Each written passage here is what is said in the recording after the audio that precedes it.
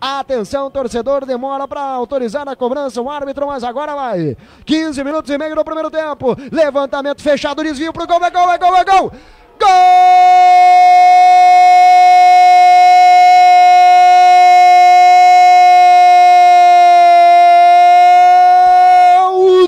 Juventude! 16, 15 e meio do primeiro tempo. Estufa!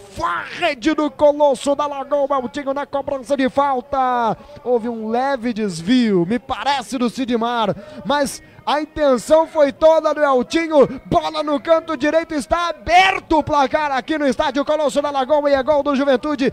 Delira, papada, líder, cada vez mais líder. Hashtag Siga o líder. É gol de Eltinho Ipiranga 0, Juventude 1. Um. Eltinho número 6, 15 minutos e meio.